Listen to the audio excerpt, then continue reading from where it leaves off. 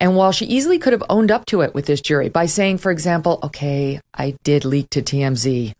I'm not proud of it, but I did it because I feared he would crush me in what I knew would be the coming PR war.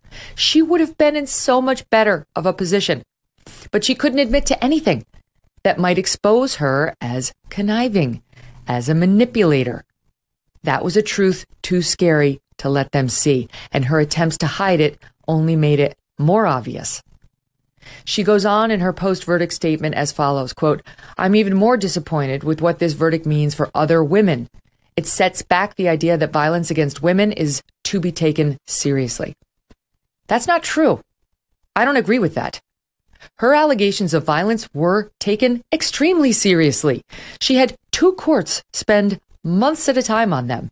She took the witness stand for four days in this trial, which lasted six weeks, to tell her story in a court of law.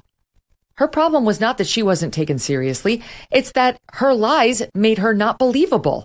That is her failing, not one that will necessarily follow future accusers. But let's entertain for a minute the prospect that she's right. That other women will now have a have a have to plow a tougher road because of this case. Who's to blame for that? She is. Right. So at this point, she I'm going to also say showed the world um, that abuse claims require careful, meticulous scrutiny because women movement, this sometimes movement, do this, lie. The one I call the she uh, sentimental did, feminist in my movement. Opinion. The one that wants us to believe that women are completely, you know, they are just full of, there's no evil in women. They don't lie. They are never wrong. They are innocent. It's, or anything they say should be accepted the way it is, they say it and all that.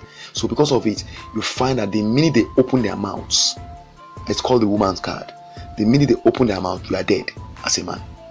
All right. So what this lady is saying, Megyn is saying here is, we, they have, they have she, this lady's example, and she's just one of many. It's just her own is one of the most high profile.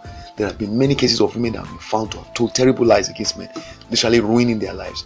And she's saying that this is proof that abuse cases, okay, need to be carefully okay, abuse claims sorry require careful meticulous scrutiny because women sometimes do lie. It's so important for us to drive this point home. The woman could be lying. I'm going to be showing a series of videos that i have. Some of them were sent to me. Some of them are downloaded from the web showing women terrible in the process of making creating wrong impressions telling terrible lies just to put a man in trouble. And you need to understand when the news comes out, we don't get to see this kind of back, you know, what you call like behind the scenes videos. The man gets crucified immediately. Oh, oh, men are like that, and they finish him off, they destroy him, and then they find out maybe five years later that it was all a lie. It's too late then. So I'm saying that the system needs to change. It needs to be made to reflect the fact that we know that both men and women do lie. And therefore, because we know that both men and women can and do lie, okay, we need to make sure that we scrutinize carefully every person, every claim that anybody makes that he or she has been abused. What happens is men get scrutinized like that when they make their claims. Women don't for the most part.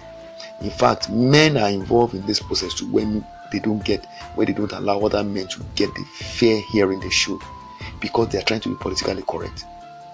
This story, this Amber Heard versus Johnny Depp case, should serve as a very instructive example of the fact that justice can be wrongly served if we do not do the right work, if we not diligently do our investigation and check that what the person is claiming is true.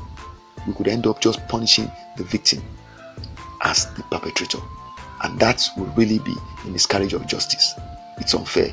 It should not happen.